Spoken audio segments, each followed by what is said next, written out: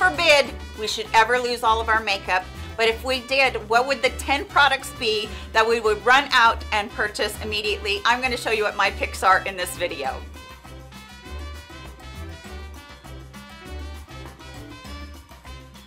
Hi friends, this video has been going around a lot about if you lost your makeup, what 10 products would you pick up immediately? I did one where it was like I had a $200 gift card at Sephora, what would I pick up? And I will try to link that one for you, but this one's kind of fun because you can pick up whatever you want to. You don't have to stick with one store. So I was really excited about this. I think I saw Risa and Stephanie do it as a collab, and I just wanted to do it too because I think it's it's a really great idea, fun idea to try and figure out what would be the most important things to you. So we're gonna get started and we're gonna start with something that's kind of boring and that is primer why would I want to pick up a primer? Why wouldn't I just go for, you know, some regular makeup, foundation, whatever, immediately? That's because not only have I fallen in love with this primer, and yes, I know that it's a little bit more pricey on the drugstore high end, but I want to tell you that if you can find a sale on it, it's really a great primer. Number one, it's hydrating. It has a little bit of a hydrating feel. Number two, it really has that beautiful slip that the dimethicone or the silicone has in it, and it will fill in your pores, your fine lines, and give you just a beautiful smooth canvas. And the other thing that it does, and the reason that I would most pick up a primer is because it creates a barrier between your moisturizer, your moisturized skin, and your foundation. And that is important because then your foundation is not going to get sucked into your skin during the day. So the NYX Marshmallow Primer is a beautiful, fluffy, lightweight primer that I have just been really enjoying and I reach for it every time now for primer. I do still love the e.l.f. Putty Primer. I think that's a fantastic one. But for me, this one has just a little added quality of a little bit more moisture and I do love that about it. Now, I do want to say, and I say this every time when I talk about this primer, is that it does have a fragrance. It has a very vanilla marshmallowy fragrance to it. It doesn't stick around, but if you're very sensitive to that, please keep that in mind when you're picking out that because this one does have that fragrance. Okay, so then obviously we skip on to Canvas.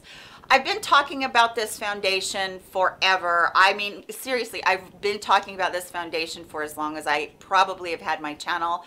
And I just put this in a top five foundations for summer, and that is the number seven Lift and Luminate Triple Action Serum Foundation. I didn't talk in that video, but I'm going to. There's always popping up but what I want to tell you is that this foundation has skin loving ingredients in it. It is that serum based. So you're going to get that little boost of skincare, which I think is fantastic. But the way that this foundation looks on my skin, if they if they were all gone, if all of the rest of them were gone, this would be what I would go pick up first and would have to have because it does the trick for so many. Now, I think that if you're extremely oily, you might still like it. I know that it isn't a matte finish, and I know so many that are oily kind of want more of a matte finish.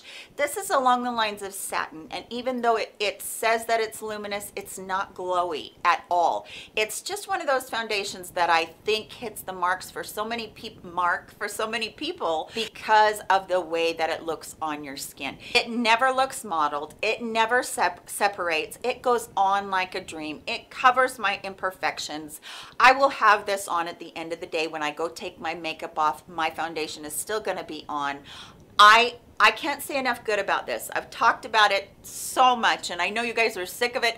I have tried other foundations now. I will say that while we're sitting here, the other foundation that could possibly interchange with this is the original Bare Minerals Bare Pro that is the liquid, not the new one that says original on it, but the older one. And that one is just such a fantastic foundation as well. And they do perform very much the same. However, this one does have those skin loving ingredients in it. And that's why I would go for it first. Now for a palette, I've talked about this all the time as well.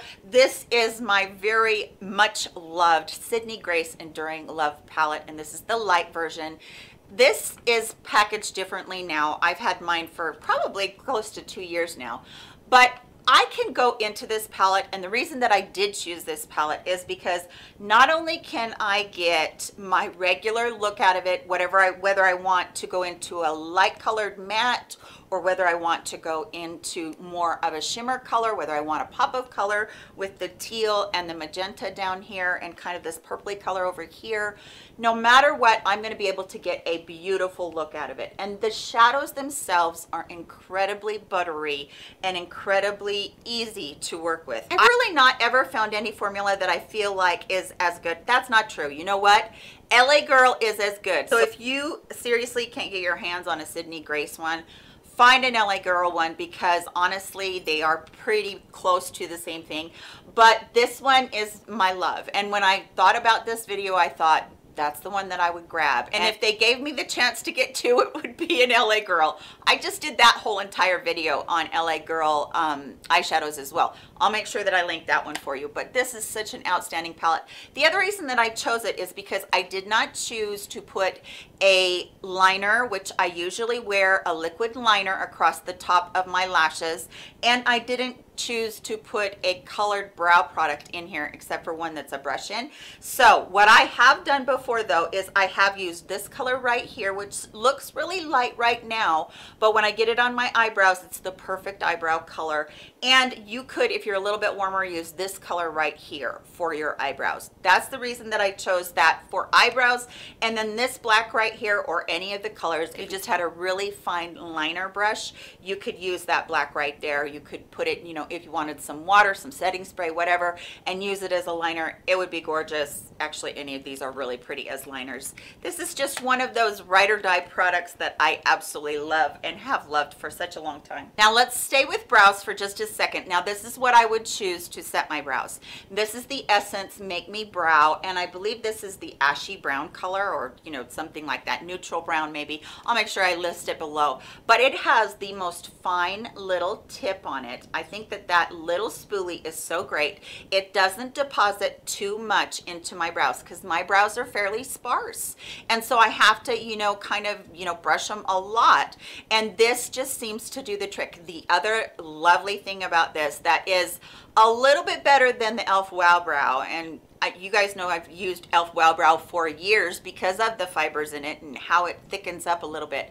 But the reason that I like this a little bit more is its staying power. If I need something to be on and my eyebrows to not move, this is gonna do it for me. And I really, really like this one as well. It is very inexpensive, but boy, this performs like a really high-end product and I love it. So let's still kind of talk about eyes from Essence as well. This is the 24 Ever Bold Volume Mascara. I did a whole video on this as well. This is a fantastic mascara for $6. One of my very favorite mascaras that I've used for all time is the Benefit They're Real mascara. I love the wand on it. It's absolute perfection and it just grabs every single hair or every single lash on my bottom lash line this, however, does something even beyond uh, what that one from Benefit does.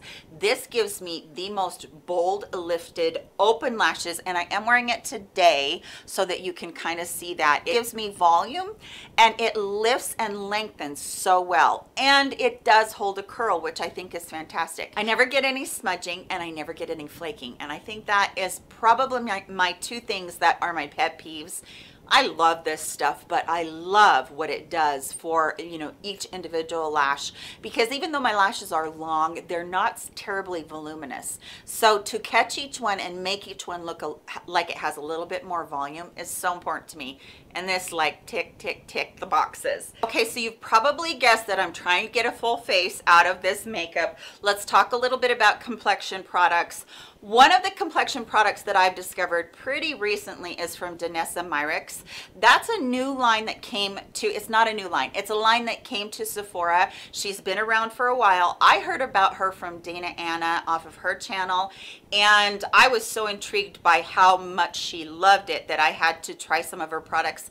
I'm not as impressed with her foundation, but boy, do I love this product. And this product is called her Contour. And it's a cream product. It's very luxe packaging, which I love. This is called her Contour Balm. It is very creamy and very lovely What I like about it, it is more on the cool side, but what I love about it is it's that perfect balance between a bronze and a contour for me to where I don't have to wear both if I don't want to. It looks quite warm right there because of all those others that I've swatched, but it is just the perfect color to warm up my face, to carve out those cheekbones, my chin, you know, bring that forehead down. It's beautiful. And I have been using this like nonstop every day this summer. I've barely made a dent in it. So you get a lot of product. And the fact that it's a cream product, I think that that is one of the things that impresses me so much because of my mature skin. It just melts into my foundation and it blends so easily. And yeah, I can't say enough good about it. But sometimes cream products can get where they kind of wear off quickly. This one doesn't. This one is like beautiful and vibrant and as much as you want on there that's what it's going to look look like all day long. But if you want to really blend it out make it look very soft you can do that as well. And a ton of product in here. It's not like a Charlotte Tilbury Natasha Denona price or Pat McGrath price. And it's one of those products that performs so well that I absolutely don't mind spending a little bit of extra money on. So it's I love it. I absolutely love it. And it is what I'm wearing, you know, all around my face today. I think it's fantastic. And then a blush that always has to be in my makeup and it would be the very first blush that I would get and that is one of the Milani baked blushes. And the reason is is because you hit both things a highlighter and a blush at the same time. So you get a beautiful glow with these blushes because they have that swirl baked in there with the little bit of the glow and the highlighter. They're not too glowy though. I think that's really important to say. This one is called Petal Primavera. I love this color because it is one of those colors that is kind of along the lines of a pinky peach. So if you're somebody that is neutral, warm, cool, you can put this on and it's still gonna be flattering for all skin types. I don't know what he's doing today. It is very easy to blend in no matter what your skin type is, no matter what foundation you're wearing. The other thing is it is bright enough that it's gonna give a lot of life to your skin. They stay on very well. I find that big products do stay on really nicely. I have all of a sudden become such a blush fanatic and I don't know why, but it is a gorgeous blush beautiful formula lasts forever these pans i mean i've been using them for a couple of years now barely even made a dent in the dome, but I love this blush and it's one of those ride or die ones that I go back to over and over again. This one I really hesitated to put in this video, but if you can still get it, that is what I want you to do. I've talked about this over and over again. This is the Becca Light Shifter Finishing Veil Pressed Powder. And I think this one is Star Child and it's number two. This is what I'm using while I'm doing some tanning, self-tanning and whatnot this is such a perfecting powder and I get asked over and over again how does this compare to the Flower Beauty or how does this compare to the number seven?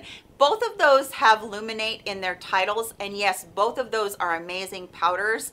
And when I don't have these anymore I'm going to be using those. But the reason that I think I like this so much is because of its capability to perfect your skin without ever looking like you have any powder on whatsoever. So if you're very dry and you struggle with that over and over again, this powder has saved me. I have bought so many backups of it, especially while it's been on sale these past few weeks. I love this powder. I hope and pray that I never run out of it as many backups as I have bought, but I'm close to finding a dupe and I'm going to be showing that to you in a video very recently as well. But all of the powders that I've tried so far, they just don't have that airy, light, silky, buttery feel that this powder does. This powder, it's special and I have talked about it over and over again. I know so many of you are probably like, Melissa, every single product you're talking about here, you've spoke about a million times. Well, that's for a reason because I love them that much. So yeah, they are those that just never ever fail me. For a lipstick, I didn't choose a lip liner, although, you know, I just about can't do without a lip liner anymore, but I thought if I chose my favorite lipstick, which is this one, and I used this with a pencil brush and just, you know, lined my lips with it, it would still do the trick. So this is the Maybelline, the Warm Me Up color. This is a color that no matter whether it's fall or whether it's summer, I love wearing this color. Again, it's one of those neutral colors that I think just about any woman can wear. It has a very rosy property to it, but at the same time, if you're a woman that is warmed, undertoned, and you're not very cool like I am, then you're gonna like it too because it does have a tiny bit of warmth to it. And I just, it's one of those ones that every time I put it on, I just feel so confident in and it's just so pretty. Now, I know that you can't get this at the drugstores anymore, but you can get it online, and I'll make sure that I link all of the places you can get it online. There's a couple, I think. Beautiful color. This is like, I don't know, five or six tubes in for me. I love this creamy texture so good for mature skin doesn't bleed i love it so much and then the last product i adore as well and that is the milani keep it full lip gloss these lip glosses feel pillowy and hydrating and they just give a beautiful luminous glow to whatever lipstick you're wearing. It is what I had on top of the other one. I'll put a little bit more on because we never can have enough lip gloss, right? This one is in the color Moonlight, so it's not going to change the color of your lipstick, but it will give that little bit of light and especially as you turn your lips, you're going to be able to see how it catches the light. So it's one of those ones that I feel like is a duochrome lip product because it does have that light catching property in it. But the product itself it's not as intense as the buxom lip plumpers. Those to me are just so full of menthol that they you know they really give you a very very cooling effect. This has a tiny bit of it but you don't feel it like you do when you put the buxom ones on I actually like this one better than the Buxom ones, even though the Buxom ones does come in some beautiful colors that I love. This is what I would go choose first because it just is one of those ones that you can wear with any lip liner, any lipstick that you have. And I would definitely pick it up if you wanted to wear it alone. It's just as beautiful that way too. And yeah, it always makes my lips feel juicy and plumped up. And I just, I absolutely love it. So that is all of my products that I chose. Did I surprise you with any of them? I bet if you've been with me for very long, I didn't, but maybe a couple of them I did surprise you with. Let me know in the comment section below. I just, you know, one or two that you would absolutely not be able to live without if you lost all your makeup. You would go out and you would get it no matter what. I'd love to hear that from you guys. Thanks so much for spending a little bit of your time with me. Please give the video a thumbs up on your way out of here. And if you're new to my channel, welcome. I'm so happy that you're with us. Love you guys all so very much, and I'll catch you again in my next video. Bye, friends.